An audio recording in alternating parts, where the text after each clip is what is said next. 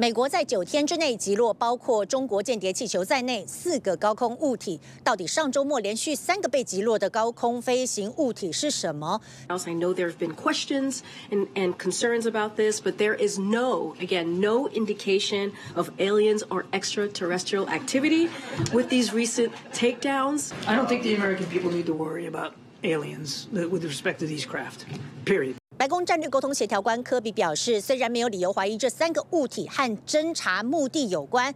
但仍无法断言这些物体的功能以及所有者。可以确定的是，它们不具有可辨识的通讯功能，不具有推进系统，也没有可操控方向的功能。但都是因为危及民航飞行安全才会被击落。对于中国外交部声称，从去年到现在，美国气球闯入中国领空十几次，白宫和国务院都说这不是事实。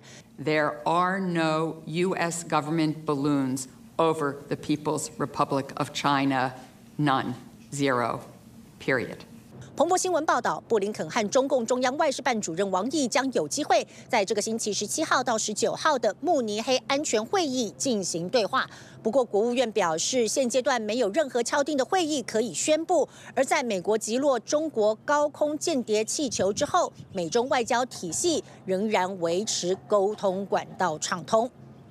TVB 新闻黄松普尼家辉，美国华府报道。想扩大国际视野，掌握趋势，请订阅专门报道国际新闻的 YouTube 频道 TVBS 国际 Plus，记得要开启小铃铛哦。